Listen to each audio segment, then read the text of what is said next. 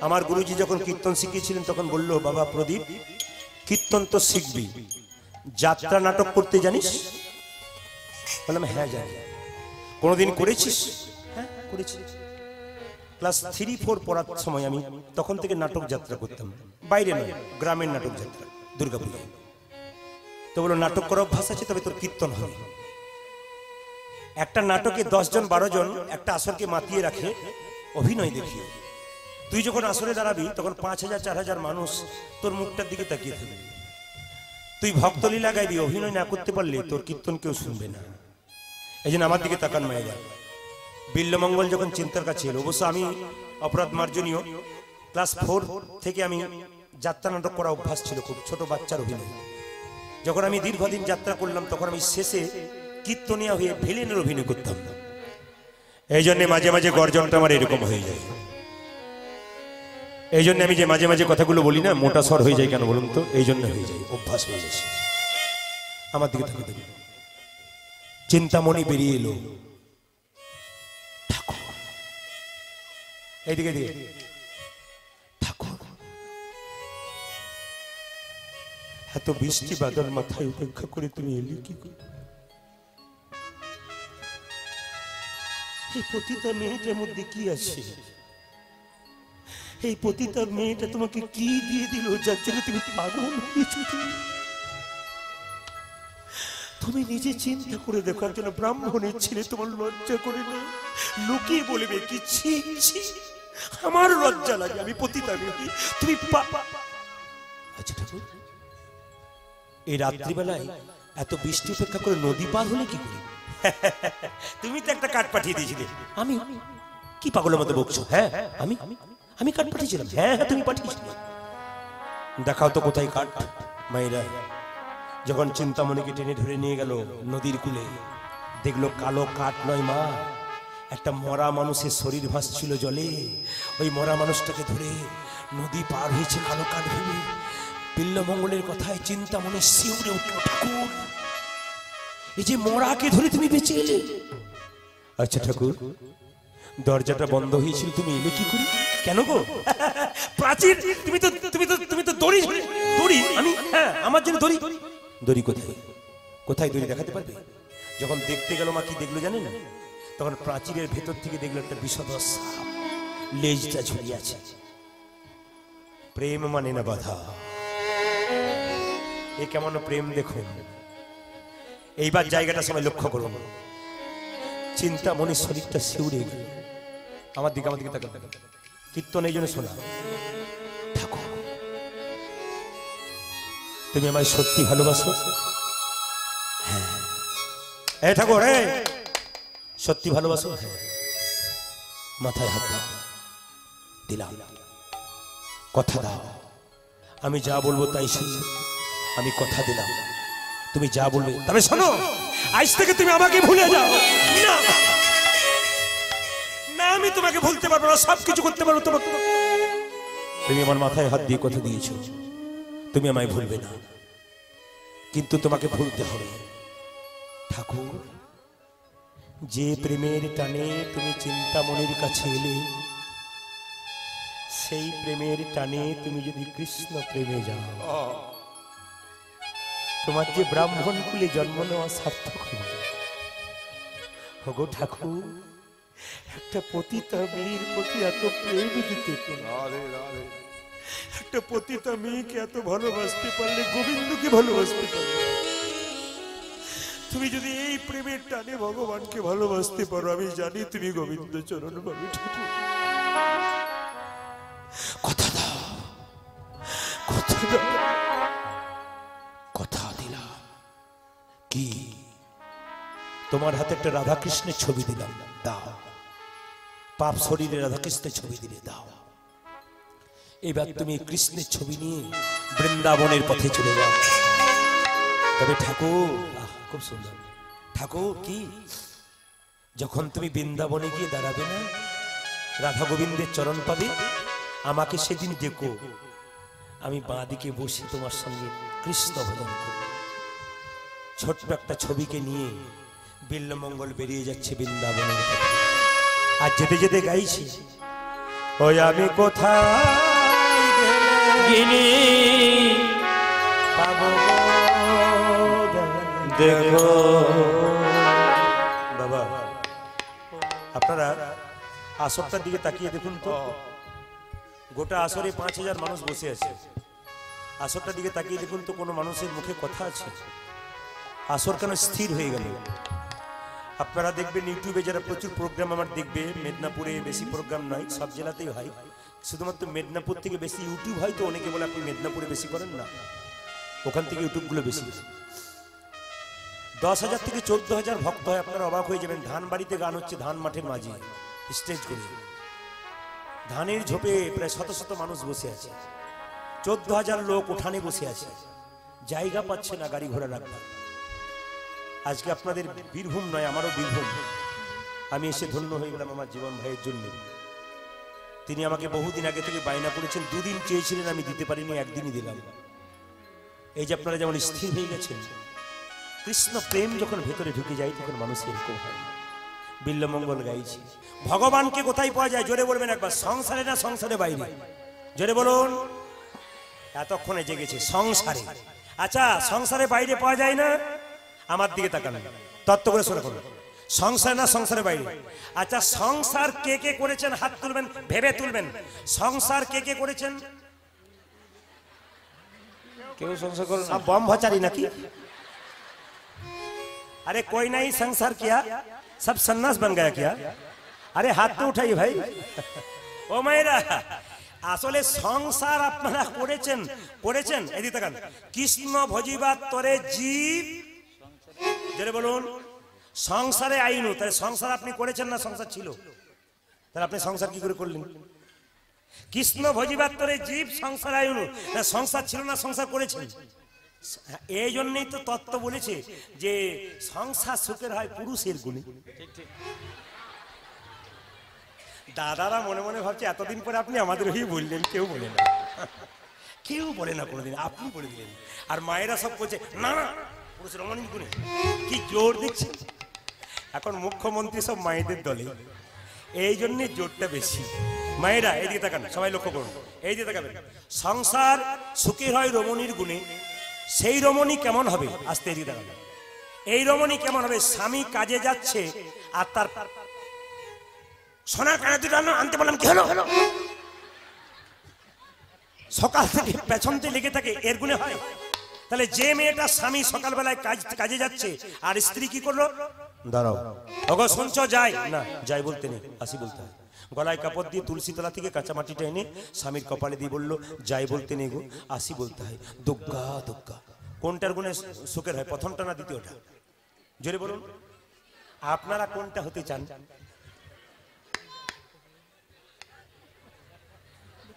এরা বলছে না, দাদারা তো জানে যে কোনটা বটে।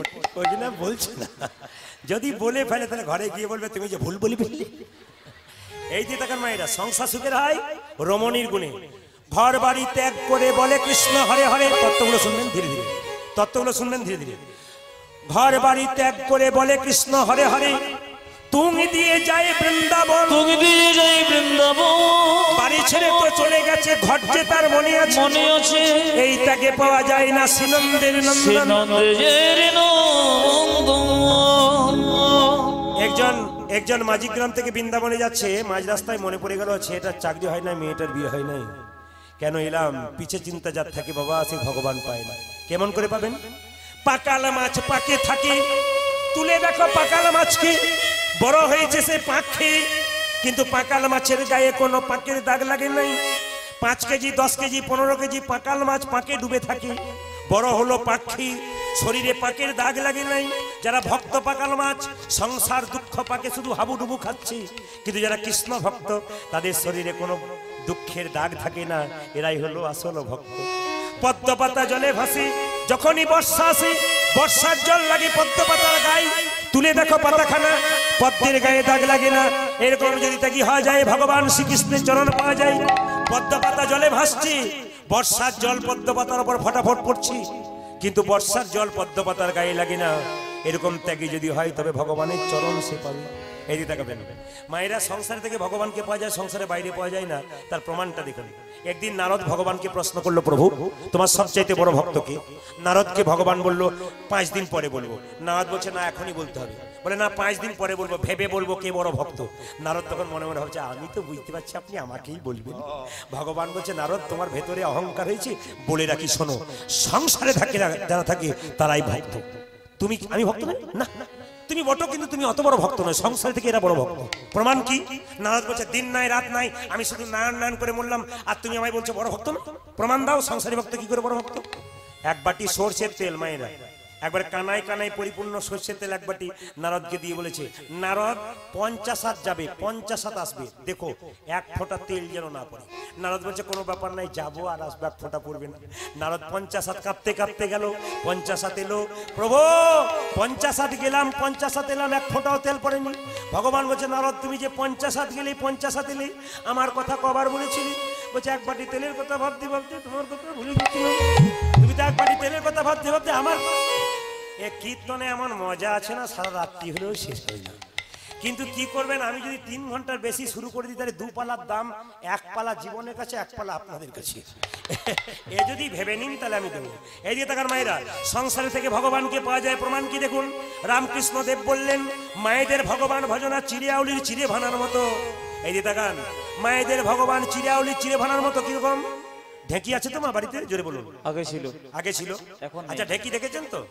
আচ্ছা যে পা দেয় তার টেনশন বেশি না, যে গর্ততে হাত দেয় তার টেনশন বেশি?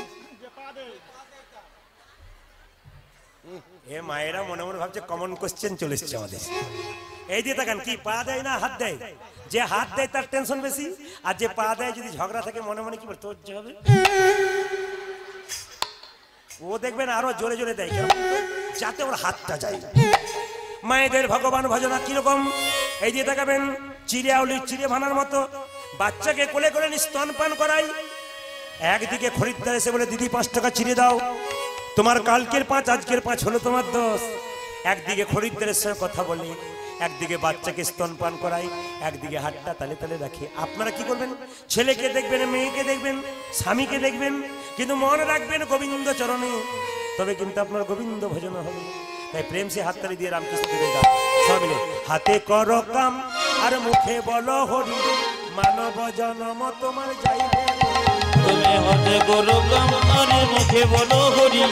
মানব জনম তোমার যাইবে গো তরি। ওই যে হাতে কর কাম আর মুখে বলো হরি। মানব জনম তোমার যাইবে ওজারে হাতে করো কাম আরে মুখে বলো বলি মানব জনম তোমার যাইবে গতরি এই বড় বড় পণ্ডিতদের জায়গায় আমরা গান করতে যাই, বৈষ্ণবের জায়গায়, বড় বড় আশ্রমে যাই। তো আশ্রমে বাবার, বাবাজি আসতে, আশ্রমে বাবাজিরা আমাদের খুব সুন্দর শিক্ষা দেয়। বলে, হরিনাম শোনো গিয়ে বৈষ্ণবের ঠাঁই। সাধুর পাশে বসলে, ভক্তের পাশে বসলে, কীর্তন শুনলে দুটো লাভ লাভ কী লাভ হয় মা? দুটো লাভ কি? আপনি কোনোদিন হাত তোলেন নাই, কিন্তু সাধুর পাশে বসে কীর্তন শুনলে সে যখন হাত তুলবে, আপনিও লজ্জায় তুলবেন। আর তুলতে তুলতে যখন আবার তোলা শিখে যাবেন, আর আপনি নামাতে পারবেন আর কি মা, সাধুর পাশে বসে আপনাকে সেবা করতে হয়। কেন বলুন তো? আপনি যখন প্রসাদ পাবেন না, তখন প্রসাদ যেখানে পাবেন, বৈষ্ণবের পাশে বসে সেবা পাবেন। দেখবেন বৈষ্ণব কি করে?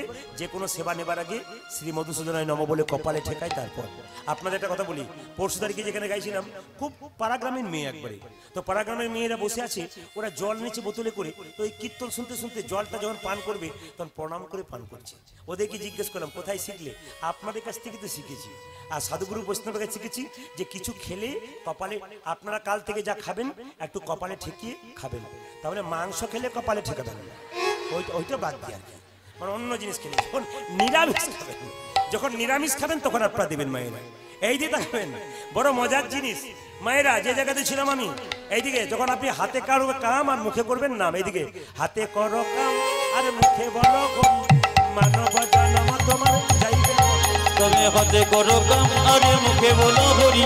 মানব জনম তোমার যাইবে গো তরি। মানব জনমে তোমার যাইবে ভেতরে আরে হাতে করো কাম আরে মুখে বলো বলি মানব জনম তোমার যাইবে গতরি ঝাঁটা ঝাঁট দেবেন বাড়িতে ঝাঁট দেবেন। ঝাঁটা কিনবেন কিবার শনিবার। বাস্তুশাস্ত্রের কথা।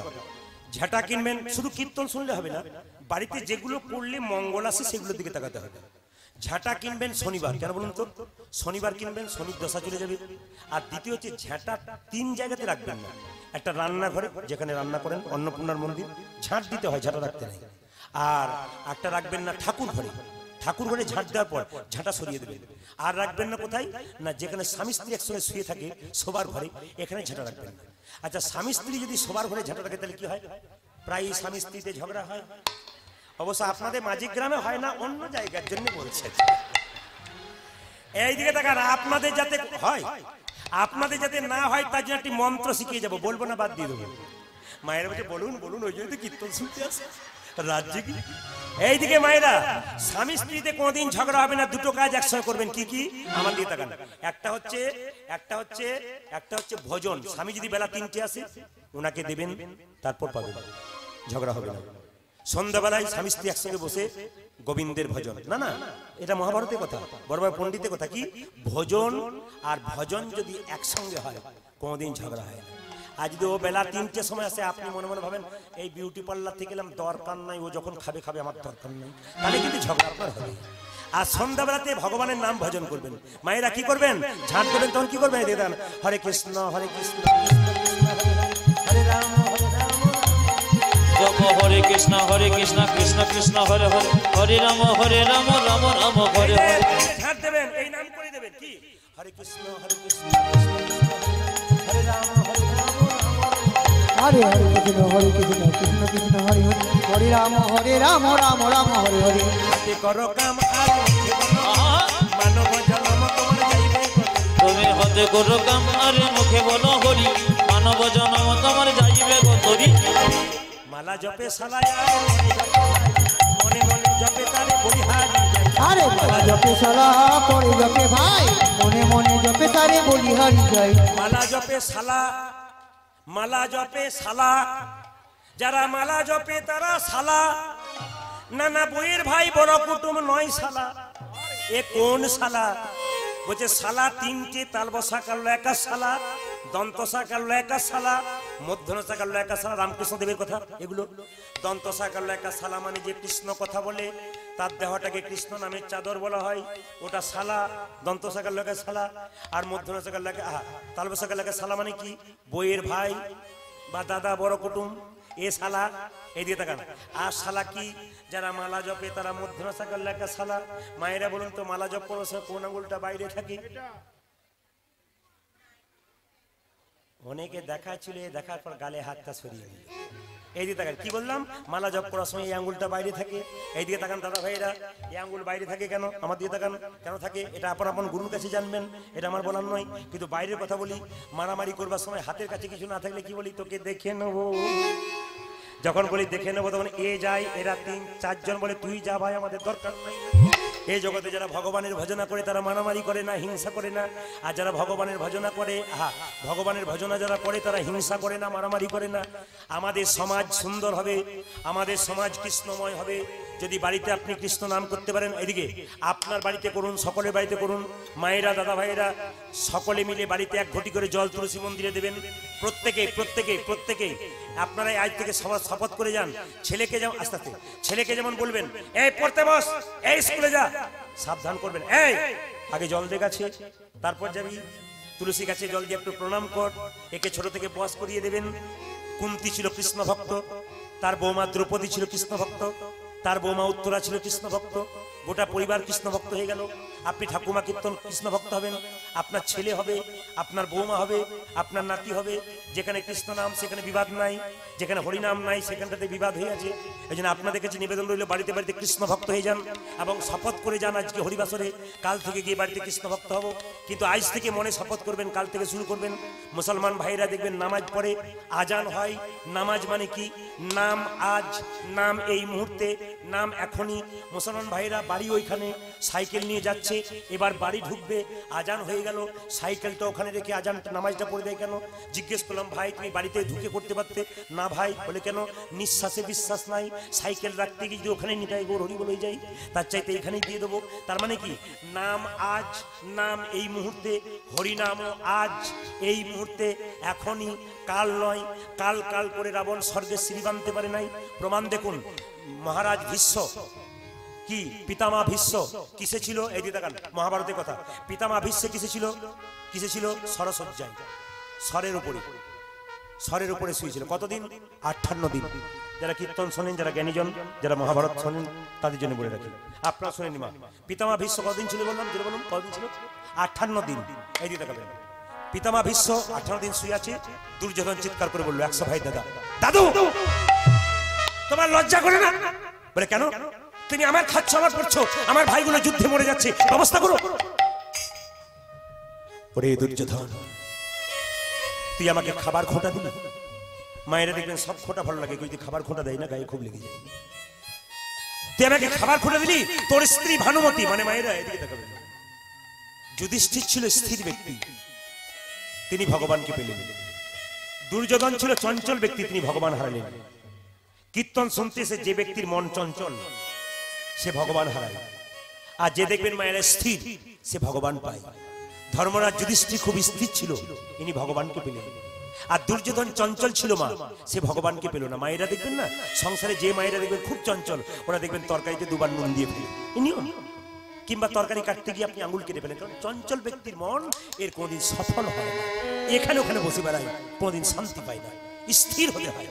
এই জন্য আপনি আপনারা যেমন স্থির হয়ে বসে কীর্তন শুনছেন, আপনার শুনে রাখুন। যুধিষ্ঠির স্থির হয়ে আছেন। কিন্তু চিৎকার করে বলল, ভানুমতিকে পাঠিয়ে দে দুর্যোধন। কোথায়? রাত্রি বারোটায়। কোথায়? আমার কাছে। কি করবে? আমার পায়ে প্রণাম করবে। আমি আশীর্বাদ করে দেবো। কাল থেকে তোর তোর- কোনো ভাই মরবে না। যা যা। ভগবান কৃষ্ণ চতুর। তিনি মনে মনে ভাবলেন, যদি একশো ভাই বেঁচে যায়, তাহলে পঞ্চপাণ্ডব মরে যাবে। আমি ভগবানের পাশে আছি।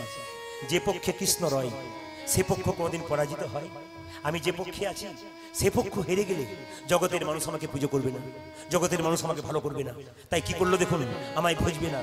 এই বলে ভানুমতির কাছে দুর্যোধন গেছে। ভানুমতি ভানুমতি, কি? যাও, কার কাছে? দাদুর কাছে। কেন? প্রণাম করে দাও। মাথায় কাপড় নেই আশীর্বাদ করবে। স্মৃতির সিন্ধু রক্ষায় থাকবে। আমরা মরবো না। যাব না। কেন যাবে না? রাত্রি বারোটা বাজছে। আমি দাদুর কাছে যাব না। আমি সকালবেলায় যাব। এই যে বলল, কাল সকালে যাব। কাল হয়ে গেল। সুযোগ পেল কে? কৃষ্ণ।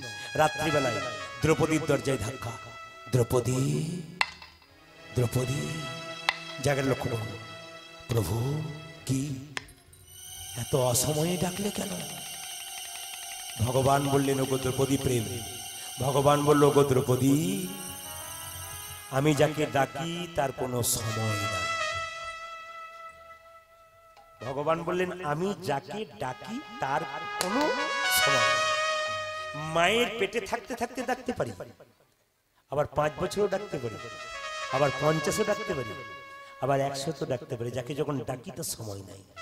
দ্রৌপদী কি? রাত্রিবেলায় মাথায় কাপড় নিয়ে দাদু ভীষ্মের কাছে যাও প্রণাম করে দাও ও ভাববে ভানুমতি এসেছে আশীর্বাদ দিয়ে দেবে স্মৃতির সিঁদুর অক্ষয় থাকবে পঞ্চ পাণ্ডব মরবে না। তাকান মায়েরা দ্রৌপদী ঢুকছে কোথায়? দাদু ভীষ্মের কাছে। মাথায় কাপড় নিয়েছে মা। আর কি করেছে? এদিকে তাকাবেন। আর কি করেছে? পায়ে জুতো পরে ঢুকছে। কৃষ্ণ চালাকি করে বলছে, দ্রৌপদী, কি? গুরুজনদের কাছে গেলে জুতো পরে যেতে হয়? জুতোটা খুলে যাও। ভগবানের চালাকি এখানে। দ্রৌপদীর জুতো জোড়া খুলতে বলল কেন? ভগবান মনে মনে ভাবছে, ভক্ত তো আমার চরণ ধরে বারবার কাঁদে, কিন্তু ভক্তের চরণ ধরে তো আমি পাই না। আজকে দ্রৌপদীর জুতো জোড়া বুকে ধরে কেঁদে কেঁদে দেখব, ভক্তির ধুলোতে কেমন প্রেম আছে। ভগবান যেমন আমাকে, ভক্ত যেমন আমার চরণ ধরে বারবার কাঁদে, আমিও দেখব ভক্তের চরণ ধরে দেখি আছে যখনই জুতোটা বুকে ধরে কাঁদছে, দ্রৌপদী চিৎকার করে বলল, প্রভু!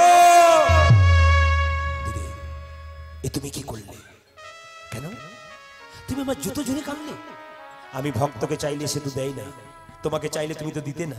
ওই জন্য আমি কি করলাম জানো? তোমার জুতো জোড়া আমি বুকে নিলাম। কেন দেবো না? আরে লোককে চাইলে, ভক্তকে চাইলে সে বলে, নরকগামী হব, দেবো না। সুতরাং আমি চাই না। তোমার কাছেই চাইলাম। দ্রৌপদী বলল, প্রভু, এ দেহ যদি আমার হয় এই চরণটা কি তোমার? এ দেহ যদি আমার হয়, তোমার হয়, তবে এ চরণও তোমার। তোমার জিনিস তোমাকে দেবো, তার জন্য ক্ষতি কি? যাও তুমি দাদুর কাছে। মায়েরা বিশ্ব শুয়ে আছে আর দ্রৌপদী মাথায় কাপড় নিয়ে যে না বিশ্বকে প্রণাম করেছে, অমনি বলল আয়ুষ্মতি ভব। মাথার কাপড়টা খুলেছে, অমনি চিৎকার করে বলল, দ্রৌপদী, তুই জানলি কি করে? দ্রৌপদী বলল, দাদু, এই জগতে গোপনে যত ঘটনা ঘটুক, কেউ জানুক আর না জানুক, একজন জানে তিনি কৃষ্ণ। কৃষ্ণ কই? তোমার দরজা এলো না কেন? এই জগতে প্রত্যেকের দরজায় কৃষ্ণ দাঁড়িয়ে আছে। যে তাকে ডাকে তার বাড়িতে ঢোকে আর যে ডাকে না তার বাড়ি থেকে এ জগতে দেহ ঘরের দরজায় হরে কৃষ্ণ। এ জগতে আমাদের দেহ ঘরের দরজায় ভগবান দাঁড়াইয়ে আছি। যে জন ভক্তি ভরে ডাকে যে জন ভক্তি ভরে ডাকে বা শোনে, তার ঘরে প্রবেশ করে। কিন্তু যে কোনোদিন শোনে না, বলে না, তার এই ঘরের দরজা থেকে ফিরে। তত্ত্বটা কোন জায়গায় নিয়ে গেল দেখুন। কৃষ্ণ! বাবা, একটা কথা বলে যাই। একজন একজনকে ঠকালে তাকে কানতে হবে।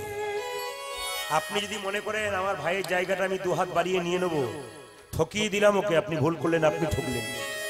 কারণ সুদামা আর কৃষ্ণ দুজনে বনে গিয়েছিল, সুদামাকে গুরুমা গামছার কোণে কোণে চিড়ে দিয়েছিল, এই কোণে তোকে দিলাম, ওই কোণে ওকে বেঁধে দিলাম, কৃষ্ণকে দিস। সুদামা কি করেছিল? চিড়েটা নিজে দুজনে চিড়ে খেয়ে নিয়েছিল, কৃষ্ণেরও নিজেরও। কৃষ্ণ জিজ্ঞাসা করল গুরুমা চিড়ে দেয় নাই? বলে, দিয়েছিল। কি হলো? বলে, আমি খেয়ে নিলাম। ওরে সুদামা, তোকে দেখে জগৎকে শিক্ষা দিলাম, তোর পর থেকে কাজ কেউ করবে না। তুই যখন আমার ভাগের চিড়ে খেয়ে নিলি, আমি অভিশাপ দিলাম, যে যার খেয়ে নেয় ভাগের, তাকে ভিখারি হতে হয়। তুই ভিখারি হয়ে যা। সুদামা ভিখারি হয়ে। আপনি যদি কাউকে ঠকিয়ে নেন তাহলে, আপনি ভাবছেন আপাতত আমি বড় লোক হলাম। না ঠকিয়ে গেলেন আপনি ন্যায্যটা নেন, আপনার কোনো অসুবিধা হবে না। আপনি বাড়তি নিতে গেলে আপনি ঠকবেন, আপনার ভেতর দংশন করবে, পারে এবং বিবেক হবে। আমি কি করেছি ওই জায়গায়? আপনাদের কাছে নিবেদন রইল বাবা, সঠিক পথে চলুন, সঠিক কাজ করুন। গোবিন্দ কৃপা আপনার হয়ে এই দিয়ে তাকাবেন। যদি কাউকে কাঁদায় তাকে কাঁদতে হয়। বিশ্বাস আছে। কৃষ্ণ বলল, কি বলছো? আমি কি এমন অপরাধ করেছিলাম যার জন্য আমি সরসজ্জায় শুয়ে আছি? তুমি অপরাধ করেছিলে তোমার মনে নাই? বলছে, না। কত জন্মের কথা তোমার মনে আছে? বলছে, সাত জন্ম। তুমি কোনো পাপ করো নাই? না, আমি করি নাই। তোমার কি আট জন্মের কথা মনে আছে? বলে, না। শুনে রাখো, আট জন্মে তুমি কি ছিলে? একটা রাজপুত্র। অহংকার ছিল তোমার খুব। তুমি হাতের বেতের লাঠি নিয়ে হাতে নিয়ে ধরে যাচ্ছিলে। রাস্তায় একটা বিষদ সাপ পড়েছিল। তুমি সাপটাকে লাঠিতে করে কাঁটার ঝোপে ফেলে দিলে। যখন ঝোপে ফেলে দিলে সাপের বিরাট বড় বংশধর সাপটাকে বাঁচাতে পারল না। আটান্ন দিন পর সে যখন মরতে যাবে সাপটা চিৎকার করে বলল "ভাইরা, একবারে শব্দ না করে জেনে নিন। বিচার করো। কি বিচার চাও জগন্নাথ? আমি যেমন স্বরবিদ্ধ হয়ে মরলাম কাঁটাবিদ্ধ হয়ে ও যেন কাঁটাই পড়ে মরে গেল। এই জন্য মায়েরা আটান্ন দিন পর ভীষ্ম আটান্ন দিনে দিনে ওর মতো মরে গেছিল। কাঁদালে কাঁদিতে হয়, এ কথাটা মিথ্যা নয়। যে যেমন কর্ম করে, তা সেরকম ফল। বিল্লমঙ্গল চলল মা, বৃন্দাবনের পথে। সাধুসঙ্গ সাধুসঙ্গ সর্বশাস্ত্রে কয়। লবমাত্র সাধুসঙ্গ সর্বসিদ্ধ হয়, শব্দ না করে। মজা আছে। আপনি সাধুসঙ্গ করলে আপনার লাভ হবে। কীর্তন শুনবেন, আমি কি বললাম, গরু যখন খাই বলি নাই মা? তাড়াতাড়ি খাই তারপর আস্তে আস্তে চিবই। আমার দিকে তাকান। কীর্তন শুনছেন, যদি ঠিক কথাগুলো কানে একবার ঢুকে যায়, আপনার জীবনে লাভ হতে পারে, আপনি তড়ে যাবেন। একটা প্রমাণ আপনার দিদি, এই একটা, দেখবেন চোর আর চোরের দল বসে আছে, দশজন চোর বসে আছে, একজন চোর চোরের দলে চাকরি নিচ্ছে, প্রথম ঢুকছে। ওকে তখন চোরের যে হেড এদিকে তাকান, চোরের যে হেড বড় ডাকাত, সে বলছে, "এ ভাই ভাই এ তুমি চুরি করেছিলে একবার? হ্যাঁ হ্যাঁ তুমি একবার চুরি করেছিলে? হ্যাঁ, হ্যাঁ। এদিকে রো, এদিকে একবার চুরি করেছিলে? ওই নদীয়াতে চুরি করে তো তো- আচ্ছা শোনো বেশ ঠিক আছে। তুমি চুরি করেছ। চুরি করা শিখতে এসছো। তো চুরি করা শিখতে গেলে তোমাকে কতগুলো কথা মনে? যারা চুরি করবেন তারা জেনে নিন।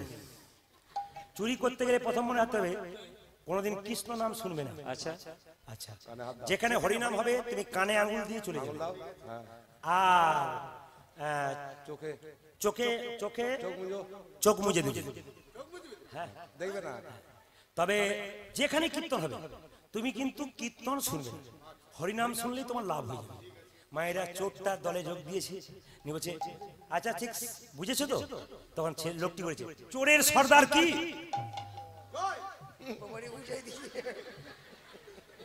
তোমার দিকে কেউ নেই। আপনাদের দুজন তুলে দিয়েছিল চোরের সর্দার কি বলেছে? জয় দিয়েছে। এখন চুরি করতে করতে গিয়ে প্রথমেই ধরা পড়ে গেছে। দেখবেন লেজো চোর।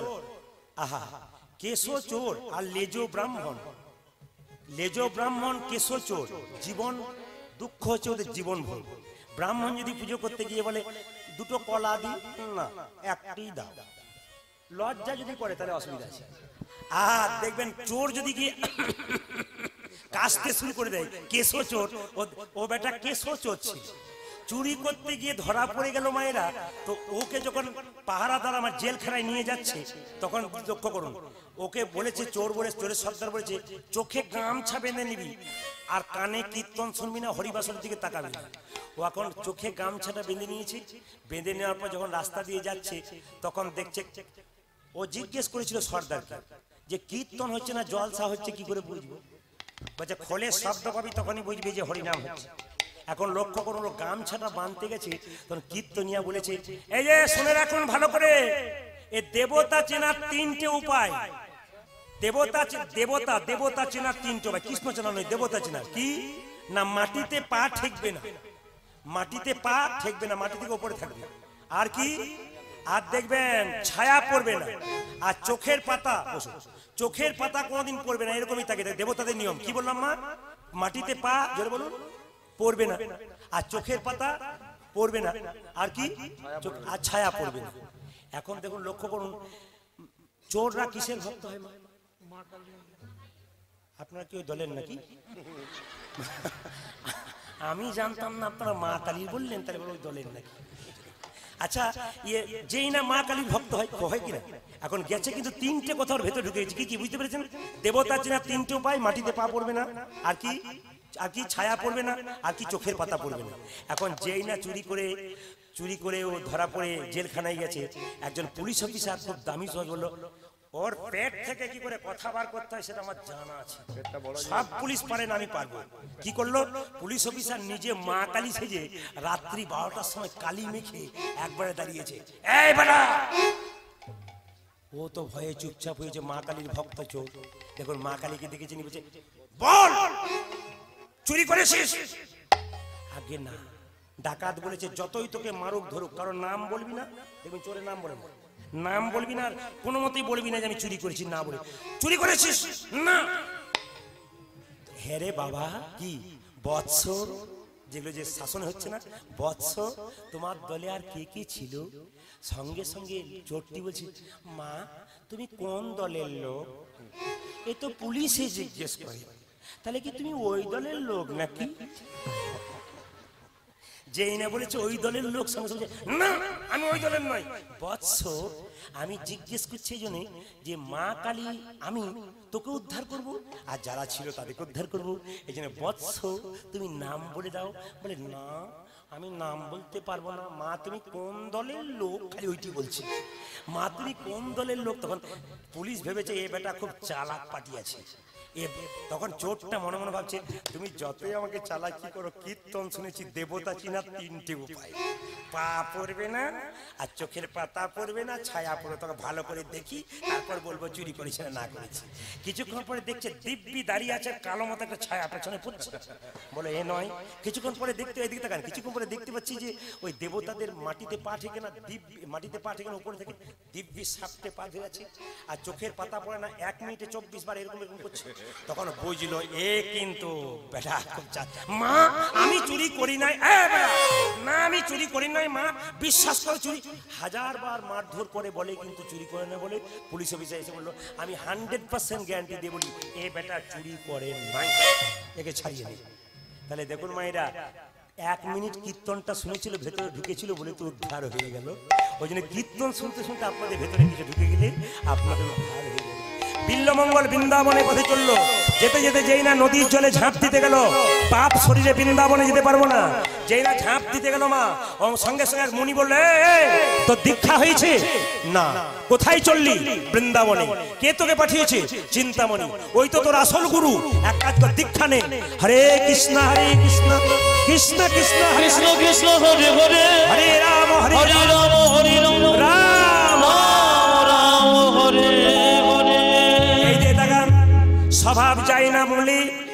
আর কয়লার ময়লা যায় না ধুলি। যার যেমন স্বভাব, তার তেমন হবে। এক বণিকের স্ত্রী, তার নাম অহল্যা। ও নদীতে জল নিয়ে বাড়ি যাচ্ছিল কোমরে কলসি নিয়ে। এত সুন্দর দেখতে। সঙ্গে সঙ্গে বিল্লমঙ্গল মনে মনে ভাবলো, চিন্তা, তুমি আমায় তাড়ি দিলে কি হবে? আমি এই রমণীর ঘর যাব, এর বাড়িতে সেবা করব, তারপর আমি এক সময় একেই চেয়ে বসবো। তুমি আমায় ছাড়ালে তো কি হবে? আমি আরেকজনের প্রেমে লিপ্ত হব। মায়েরা কিন্তু বণিক ঘরণী অহল্যা খুব সতী নারী ছিল। সে চারিদিকে তাকাচ্ছে আর মনে মনে ভাবছে লোকটা সমাদ্য ভালো নয় লোকটা সমাদ্য ভালো নয়। আমি যাই বাবা তাড়াতাড়ি যাই। বিল্লমঙ্গল পেছন পেছন যাচ্ছে কীভাবে এই দিয়ে তাকাবেন। অহল্যা দরজাটা বন্ধ করে ঢুকে গেল আর দরজায় গিয়ে বিল্লমঙ্গল বলল ভিক্ষাং দেহি মাতো ভিক্ষাং দেহি মাতো।